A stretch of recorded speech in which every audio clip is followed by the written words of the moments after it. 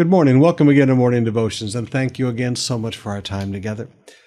Well, as we're closing out another week of morning devotions with me, you still got Pastor A tomorrow morning. We're going to the services tonight.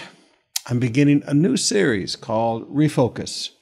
I want to talk to you about, as we come out of COVID, how to focus your life in a different direction. Some of you, you didn't like the way your life was going before. COVID, maybe you like it less.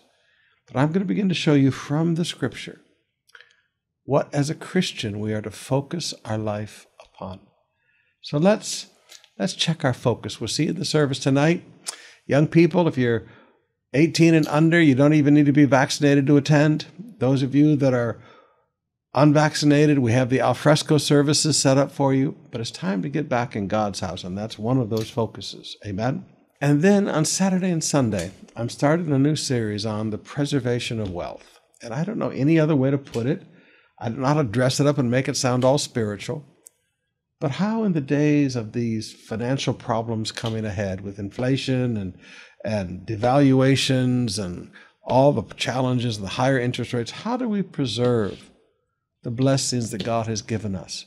If we're going to leave an inheritance for our children's children, from the scripture, how is wealth preserved in the hard times? It's going to take a few weeks to get through, but we're going to start on it Saturday, Sunday in the services. We'll see you then.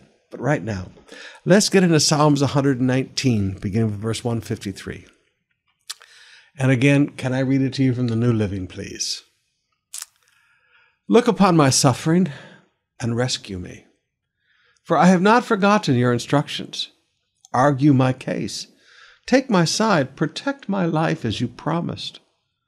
The wicked are far from rescue for they do not bother with your decrees. Now, now notice this rescue has requirements. Rescue has a requirement of following God's decrees. Now, he's asking for his life to be protected. He said, I haven't forgotten your instructions. And now, please forgive me, but straight up talk. Some of you are in very difficult situations right now and you're asking God to rescue you. But you don't want to bother with His rules, you don't want to bother with His laws. If you want God to rescue you, you, you can't unscramble scramble days. You can't fix the past. But you can go and sin no more, as Jesus said. You can, all right, from today, I'm going to start doing right. Lord, how great is your mercy. Let me be revived according to your regulations. There's that same thing again. Revived by following your regulations. We saw that again yesterday. Many persecute and trouble me, yet I have not swerved from your laws. Seeing these traitors makes me sick at heart because they care nothing for your word. Now, they may pretend, but by their refusal to obey the word, they care nothing for your word. See how I love your commandments, Lord. Give back my life because of your unfailing love. The very essence of your words is truth. All of your regulations will stand forever. Beautiful, beautiful truths. As we go to prayer today, I want to pray for the young people and the seniors that have been locked up for almost two years and young people and seniors both listen to me. I know it's going to be a little nervous going out. Please, I mean, you're human. There's going to be a little nahia in there, but it's also going to be good to get out and see your friends and see people again face to face. So let me pray for you right now.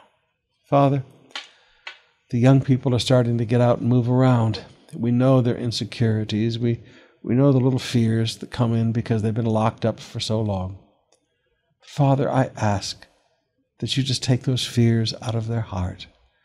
That in your gentleness, Lord, you make your love so real to them. And Lord, let them begin to enjoy life again. Father, restore life. Restore the joys of life to all the families. As we begin to come out of this thing yet again, Lord, let the families laugh together and play together. Let the families enjoy together. Father, let your hand be upon them. Father, let there be a discipline in every family not to waste money right now, but to save that money like Joseph of old and be prepared for the great opportunities that are coming for the transfer of the wealth. Father, I ask that you crown this year with your bounty, that every family that has struggled, Lord, would have the debts paid, and they'd begin the new year free and clear without any pressure. I pray for healing, Lord. Many of our people, Lord, have struggled physically, and they're still struggling. Lord, for all those stroke victims, restore twofold. Father, for all those people that have gone through cancer in these last two years, let that cancer be gone from their bodies. Restore their strength, Lord. Restore them to full health in Jesus' name. I pray, Father, for those that have gone through that long COVID and their lungs are still weak. Lord, touch those lungs and open them up and strengthen them. For those with kidney diseases, Father, I ask that you touch those kidneys and let them live. Let those kidneys begin to reduce all the toxins in their bodies and function properly, Lord. Father, we come to you and we ask for mercy. We ask for healing mercy. We ask for provision mercy. Lord, we thank you for it. And Father, touch every heart and let them be soft to you. Let every heart, as they come back into your house, let them t- be touched by your presence. Let your presence touch every heart, Lord, as you walk among us. In Jesus' name, amen. Let's open up our hearts now and spend some time in worship.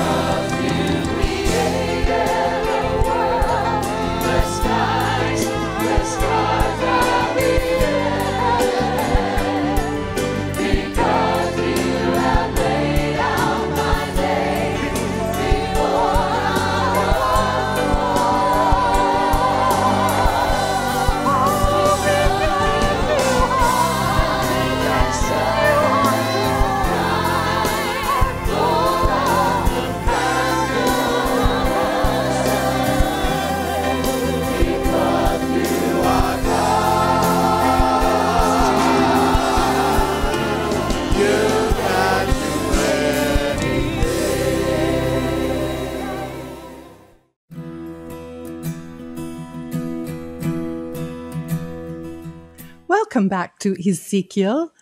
This morning we have the privilege of starting our Ezekiel reading in chapter 17. The word of the Lord came to me, Son of Man. You see, that's always the nickname that God always called Ezekiel. Propound a riddle and speak a parable.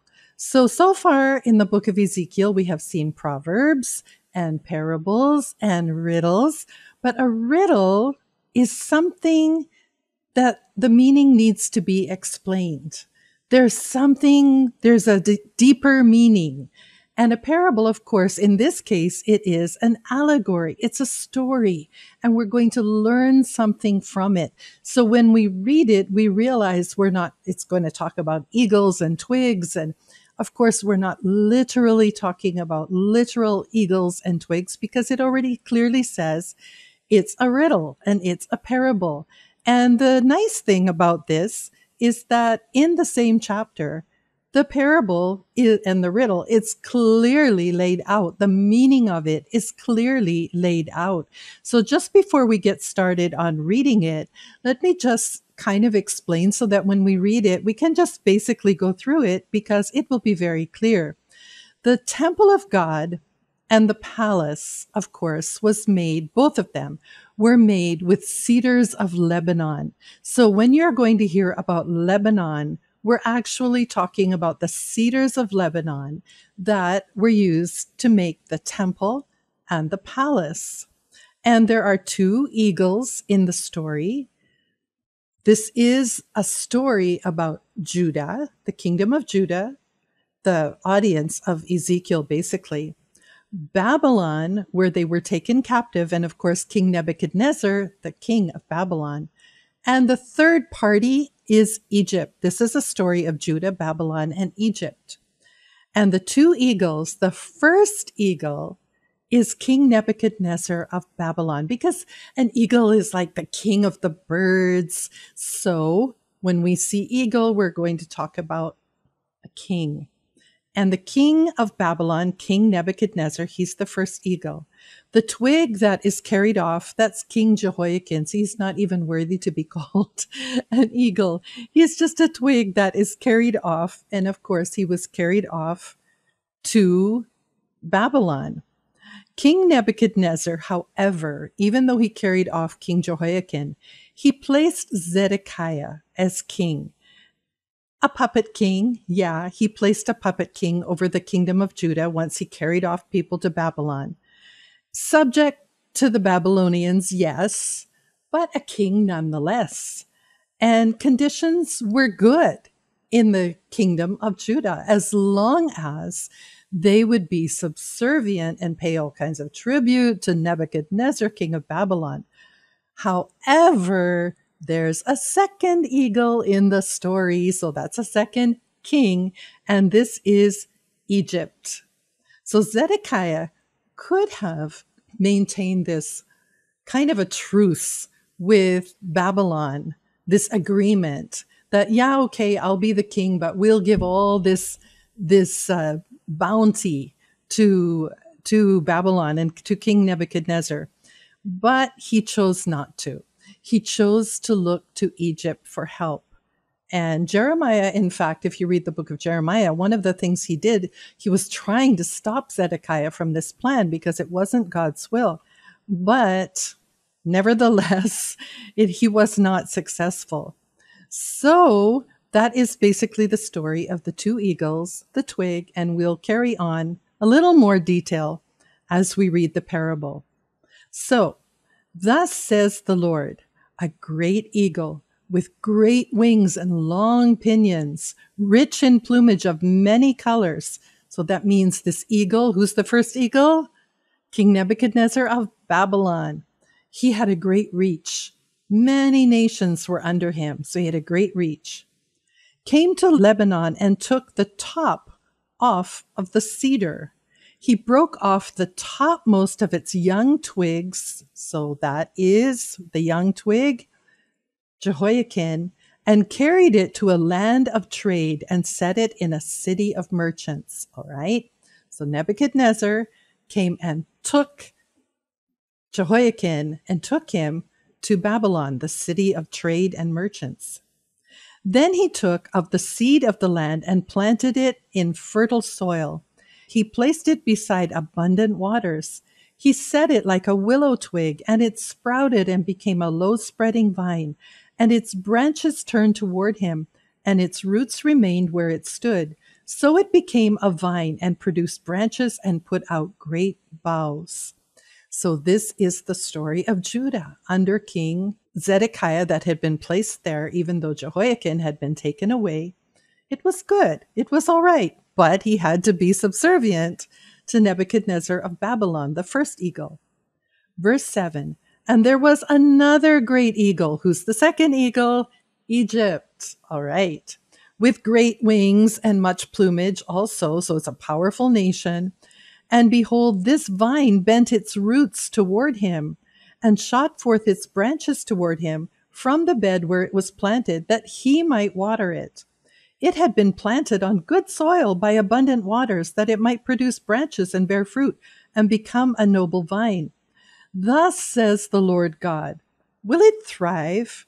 Will he not pull up its roots and cut off its fruit so that it withers, so that all its fresh sprouting leaves wither?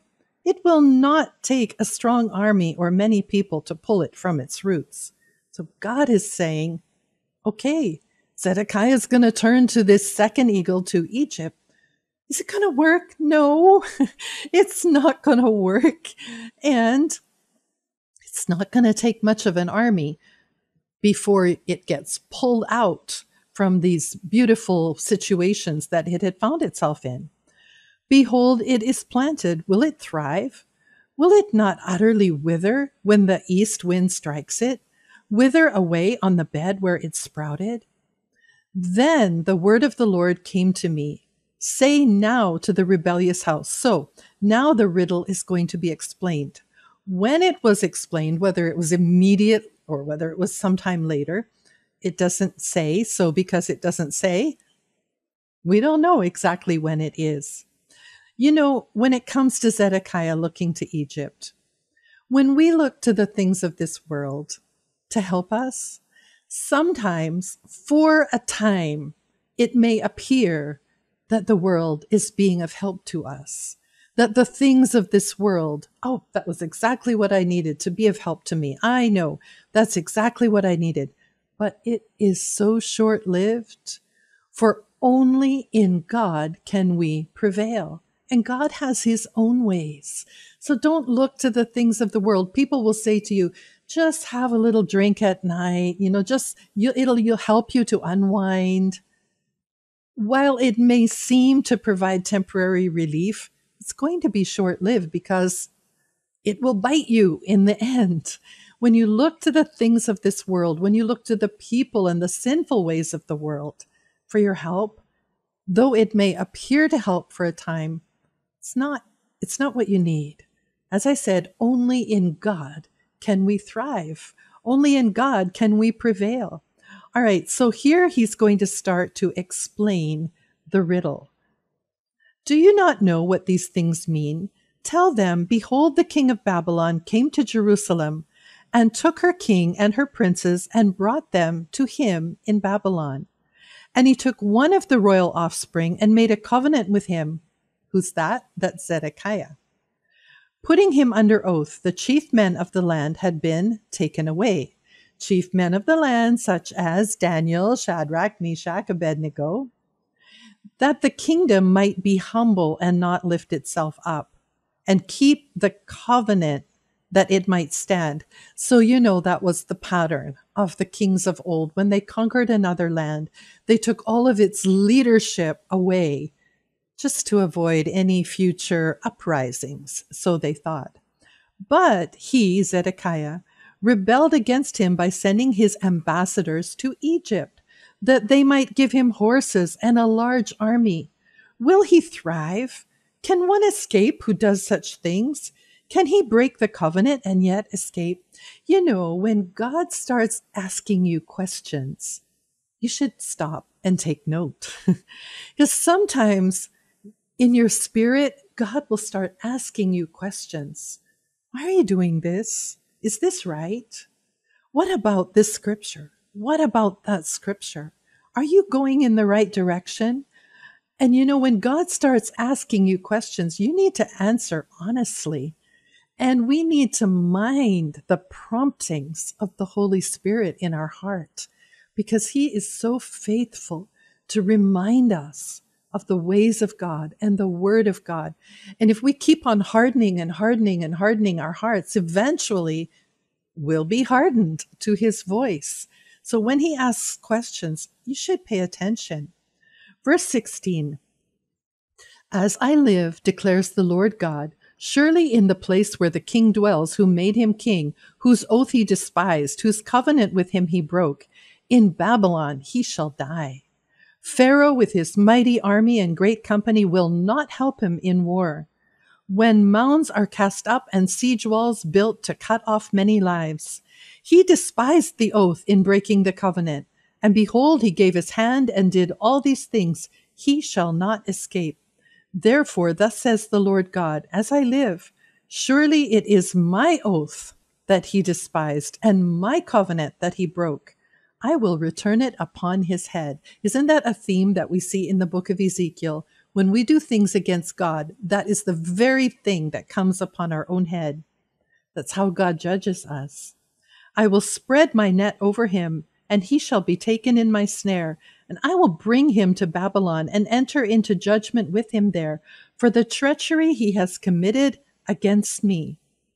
And all the pick of his troops shall fall by the sword so Egypt, according to Isaiah chapter 30 and according to Isaiah chapter 36, Egypt is always useless to look to Egypt for help. And Egypt is a type of the world or sin. It's just of no use to us.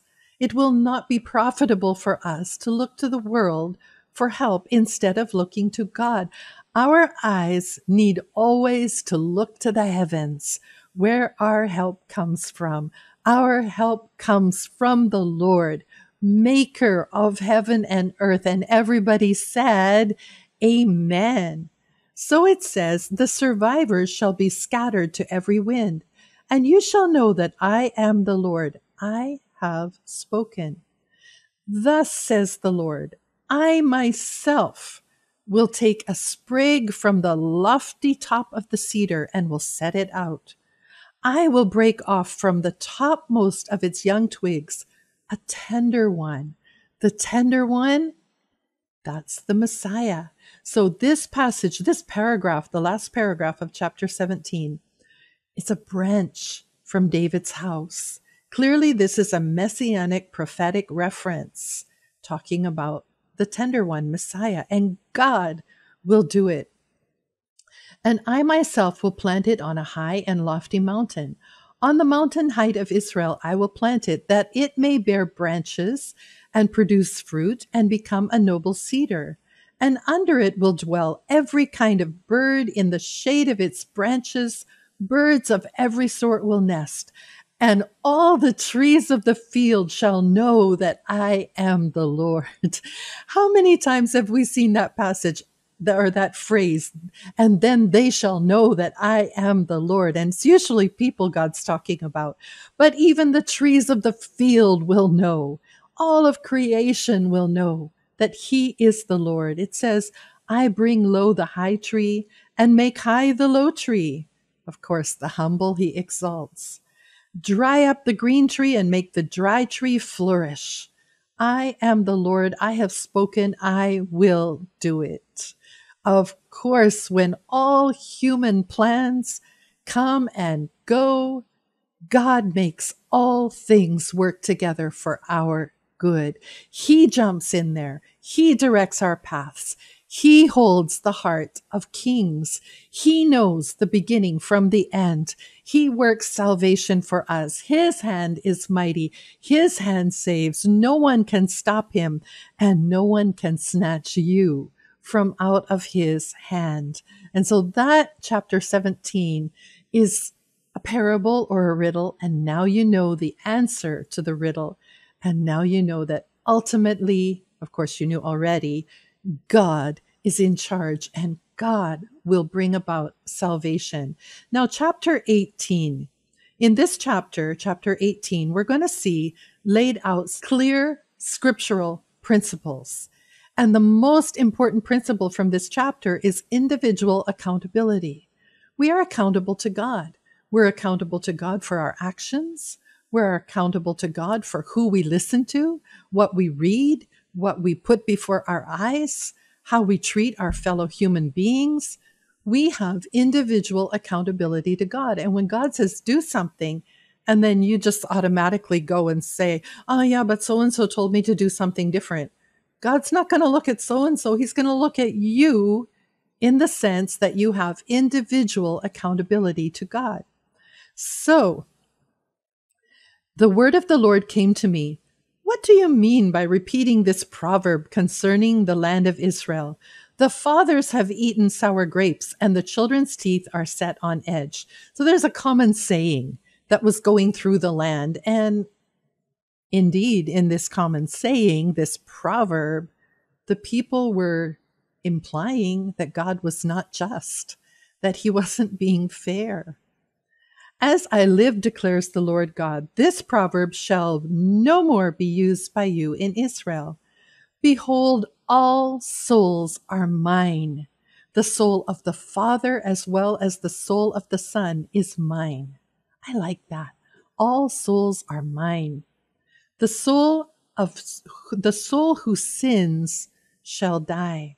Now, in this chapter, chapter 18, we have an example of a godly grandfather and then an ungodly son and then a godly grandson. And if you think about it, because Ezekiel was talking to the southern kingdom of Judah, this perfectly fits the pattern of King Hezekiah, who was a godly person, and then his son Manasseh, who was totally, he was so evil he was like one who sacrificed his own children to these heathen gods, burned them in the fire. He was very evil. And then Manasseh, the grandson of Hezekiah, now Josiah, Manasseh's son Josiah, was a godly man. So a godly grandfather, an ungodly father, and then a godly grandson. And we will see that it clearly applies to that. And of course, it clearly applies to our own lives.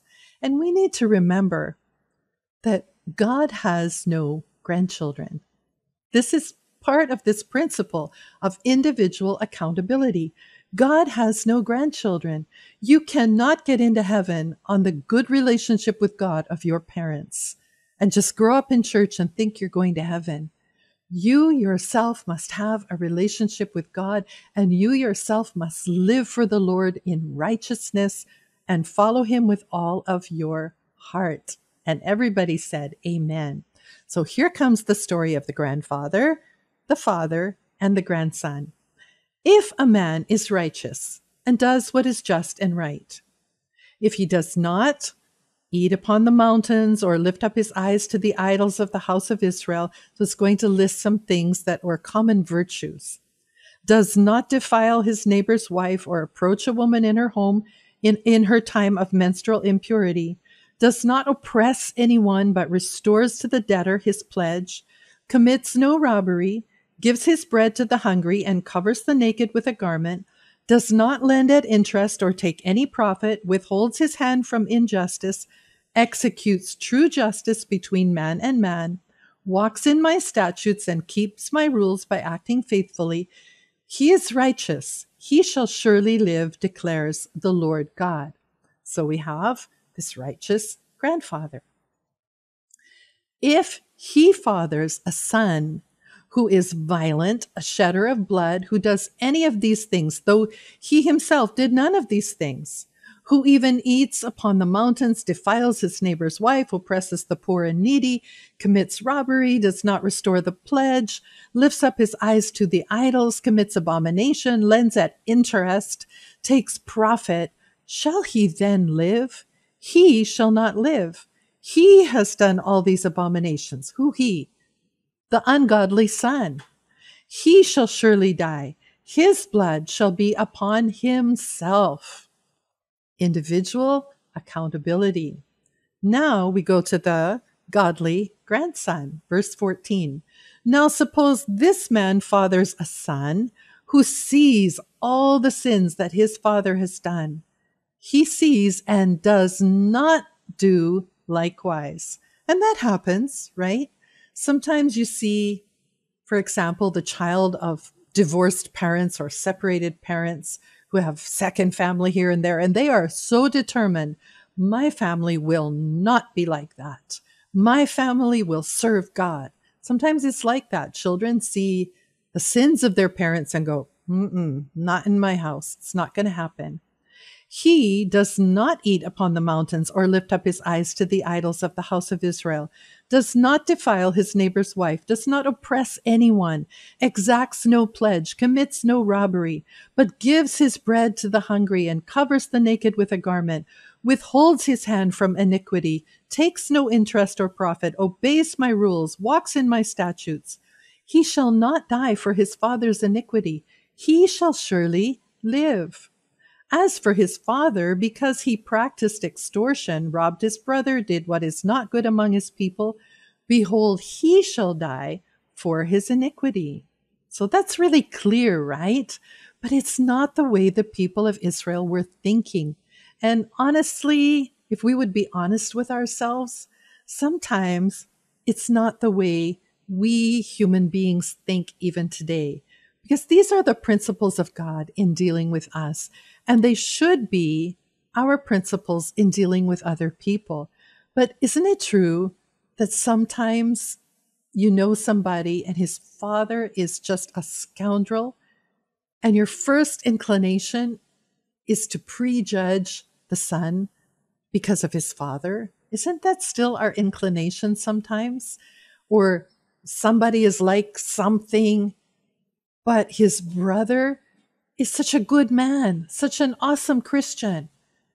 And yet we tend to look at the brother with this, we paint him with the same paintbrush as his wicked brother. We just tend to be that way. And that's definitely the way the people of Israel were. But they went even further and they would say that the son should be punished for the iniquity of his father. So, verse 19, yet you say, Why should not the son suffer for the iniquity of the father?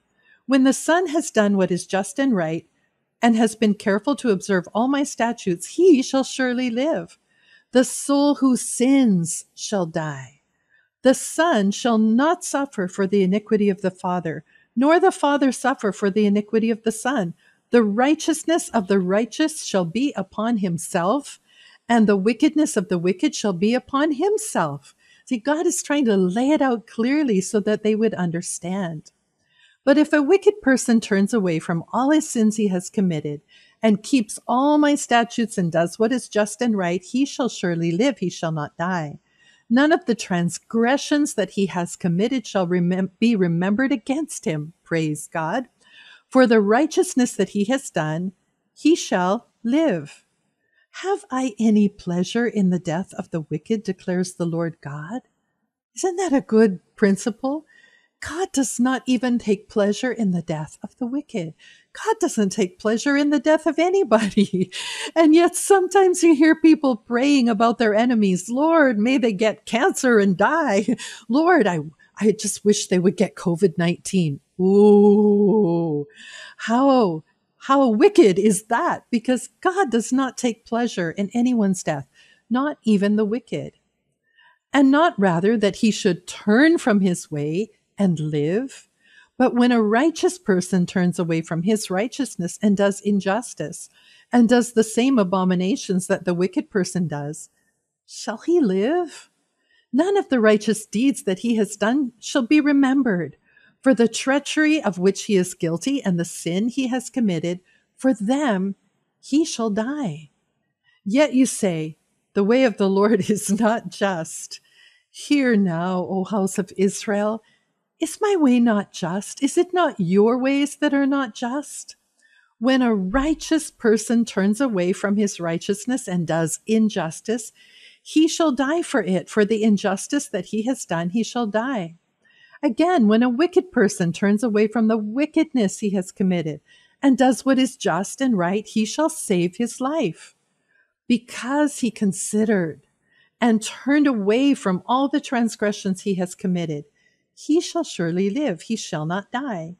Yet the house of Israel says, The way of the Lord is not just. O house of Israel, are my ways not just? Is it not your ways that are not just? oh God, trying to deal with people who have made up their minds. Therefore, I will judge you, O house of Israel, everyone according to his own ways, declares the Lord God. Repent and turn from all your transgressions, lest iniquity be your ruin. Cast away from you all the transgressions that you have committed. You know, there is always and forever one solution for sin, and it is Oh, the blood of Jesus, right? Throughout eternity. It has always been and it will always be. We see it in the book of Revelation. They will still be singing about the blood of the Lamb that cleanses us from all sin and makes us righteous with God. And carrying on, and make yourselves a new heart and a new spirit. Why will you die, O house of Israel? For I have no pleasure in the death of anyone, declares the Lord. So turn and live. What an invitation. First of all, what a statement. so don't go around praying that your enemy is going to get COVID 19, okay? God doesn't have pleasure in that. In fact, pray for the healing of and the well being of your enemy. Ouch. Turn to God and live. What an invitation. What a statement turn to the Lord and live. Amen. May we all do that in Jesus' name. That is our Ezekiel reading for today. Thank you so much for joining us as we have learned a lot in those two chapters.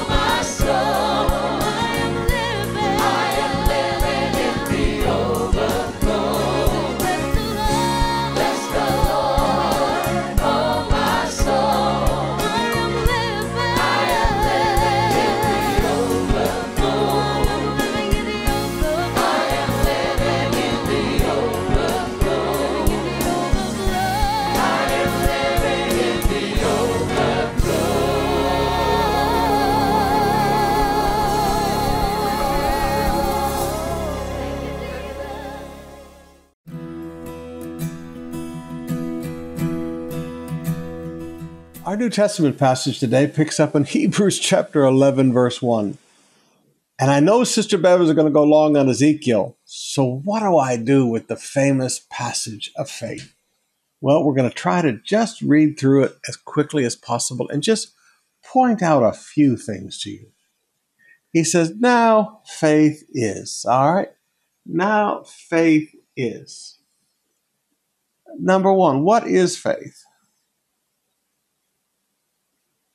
Faith is number one, the assurance of things hoped for. Number two, the conviction of things not yet seen. Now, the beautiful little truth here is that this Greek word for conviction here literally is, uh, it's only been found one time in ancient Greek. It's literally the title deed. The title deed. Now, brothers and sisters, when we begin to understand the assurance of things hoped for, the conviction of things not seen, that's what faith is. And for by it, all right, what does faith do?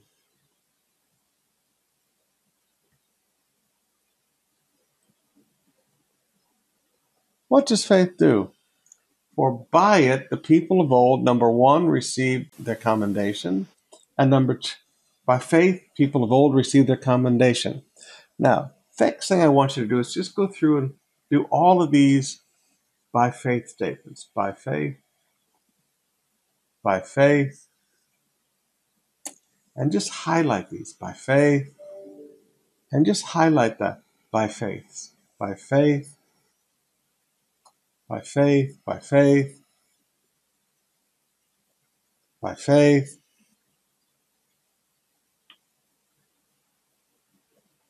All right. Now, let's just begin to break this down a little bit. These are the accomplishments of faith.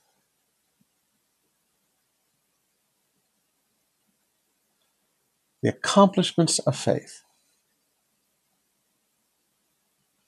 By faith, we understand that the universe was created by the Word of God. You have to have faith to believe in creation. See, people say, Pastor Sumrall, where, where, do you stand on creation? I'm what they call a young earther. Okay. And I, I like that phrase. I just heard it for the first time the other day. I'm a young earther. I believe in creation. I don't believe in gazillions of years of, of evolution. I think it takes a lot more faith to believe in evolution than it takes to believe in a sovereign creative God. By faith, we understand that the universe was created by the Word of God, so that what was seen was not made out of things that were visible. So, psh, nothing was there. By faith, Abel offered to God a more acceptable sacrifice. So, by faith, we understand. By faith, we give, through which he was commended as righteous. God commended him by accepting his gifts and through his faith, though he died, he still speaks. All right? He still speaks.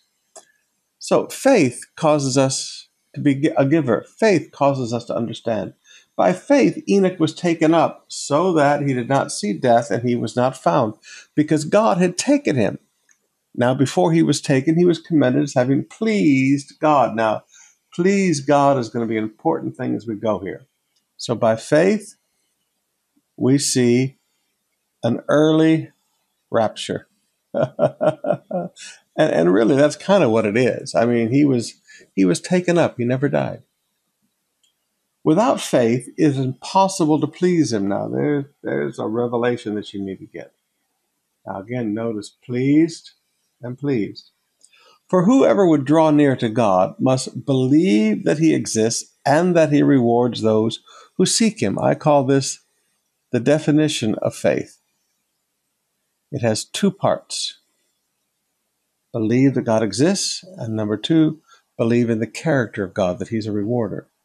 By faith, being warned by God concerning events as yet unseen, in reverent fear constructed an ark for the saving of his household, and by this he condemned the world and became an heir of righteousness that comes by faith. All right, so by faith he obeyed.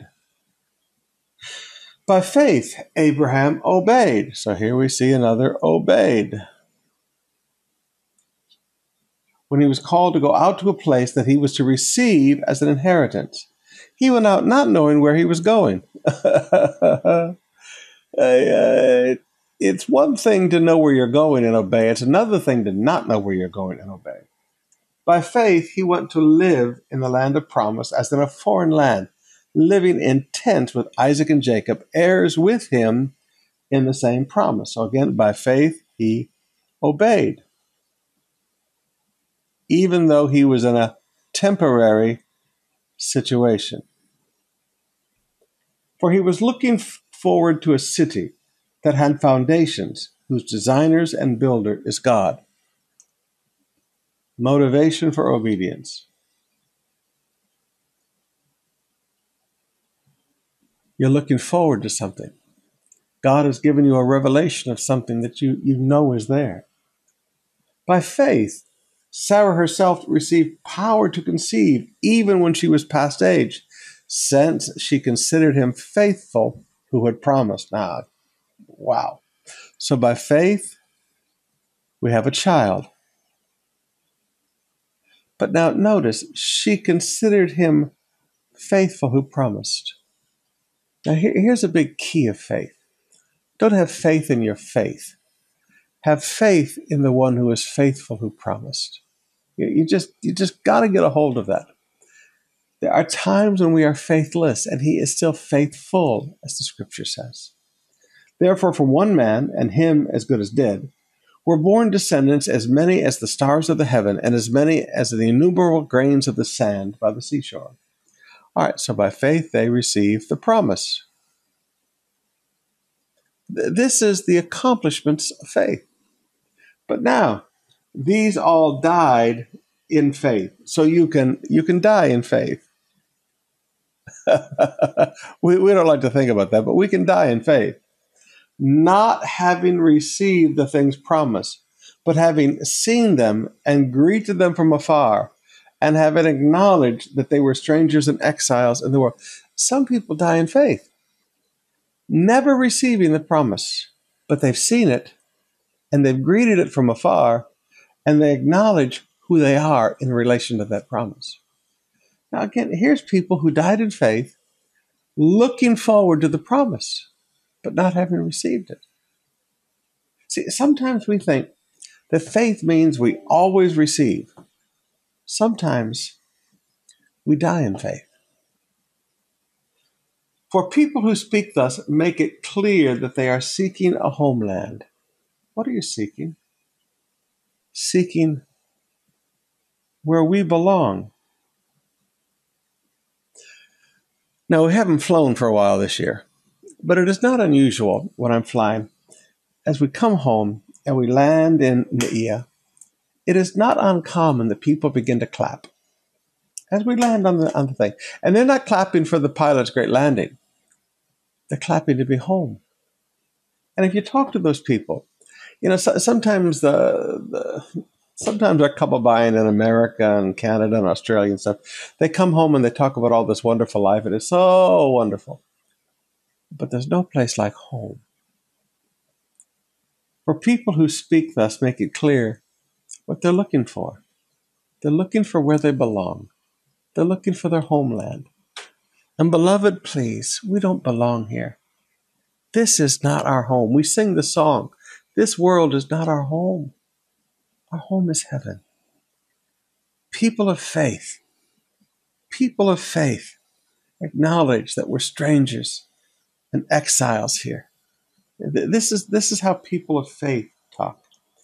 How do these people are speak? These people speak thus. Okay, this this is what they're talking like. All right, we're strangers and aliens here because this is not our home. And then he continues If they had been thinking of the land from which they had gone out, they would have opportunity to return. Now, folks, scary.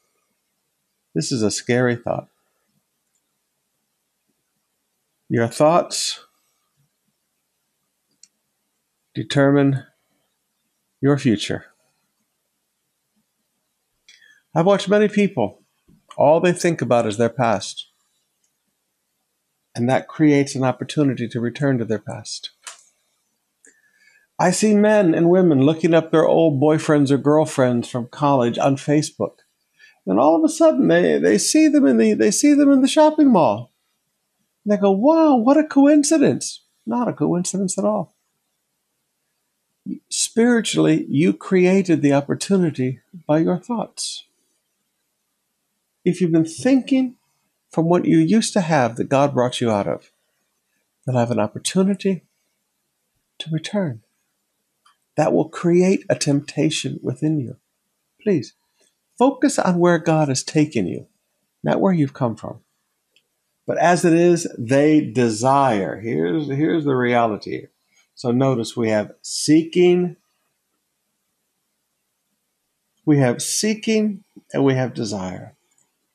But as it is, they desire a better country. That is a heavenly one. This is our homeland. This is our homeland. Therefore, ah, and here's the big truth. Therefore, God is not ashamed to be called their God, for he has prepared for them a city. Oh, beloved, this world is not our home. God has prepared a place for us for eternity.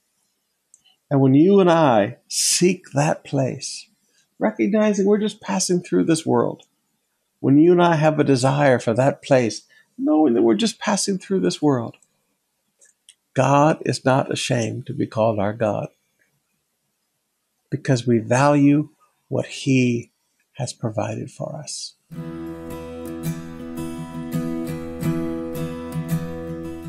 Let's close out today with a little bit of wisdom from Proverbs. a wise man is full of strength. I like this. The wise are mightier than the strong. Guys, not a problem going to the gyms and building up those those arms and that chest, building up those legs. Not a problem building up your core. But wisdom is mightier than physical strength. A man of knowledge, now here's wisdom, a man of knowledge enhances his might. New Living says, grow stronger and stronger. Young people, do you know why your parents want you to grow, want you to study? And do you know why you should study the rest of your life? The more you study, the stronger you grow. The more knowledge you have, the stronger you grow. This is why many pastors lose their spiritual strength because they don't study. Wow. This is why many businessmen lose their business strength because they stop studying they start they start coasting. You know they, they already they think that they know so much already that you know they can they can stop. Have you ever noticed i study all the time? If you've ever been around me much you don't find me without something to study. I'm always studying. Knowledge enhances might. Those with knowledge grow stronger and stronger.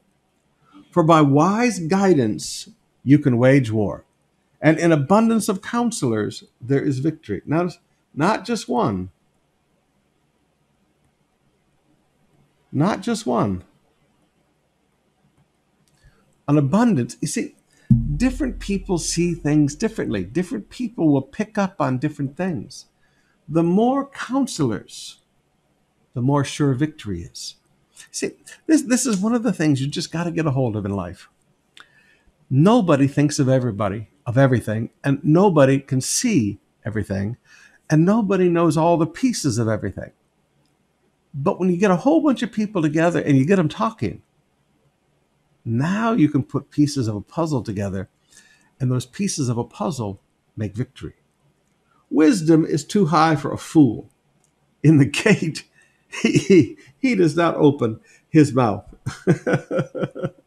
Among the leaders at the city gate, they have nothing to say. Did you see that down here? They have nothing to say. Fools shut up in the face of wisdom. Whoever plans to do evil will be called a schemer. The devising, now, now just whoever plans evil will get a reputation as a troublemaker. Have you ever noticed there are people who plan evil? They plan destruction, they, they plan to destroy people you know what? Before long, their reputation is not a good reputation. Their reputation is the reputation of a troublemaker or a schemer. The devising of folly is sin, and the scoffer is an abomination to mankind. Now, scoffer means mocker. Everyone detests a mocker. Have you ever seen people on Facebook and all they do is mock people? They're always mocking people. They got a mocking spirit. Have you ever noticed they're not liked? Mockers are never liked. Mockers are always, and notice the word detests. Mockers are always detested. So when you know you're looking at something and you want to mock it, you want to make fun of it. Show no respect for what you don't understand. Zip your lip, as my mama used to say. Zip your lip. Just nip, zip the lip. Don't let mockery come out of your mouth. It destroys your name. People have no respect for a mocker. And sometimes you want to look at young people today, they, they want to mock things they don't understand. And you want to just say, young people, you know, maybe your mama didn't teach you respect, but you, you need to come before the throne of God and learn some respect. Because mockery is not going to give you a good name. Mockery is going to make you, ESV says, an abomination. An abomination in other people's eyes. So if you don't have something good to say, zip the lip in Jesus' name. Amen. All right. We'll see you tonight, seven o'clock. See you then.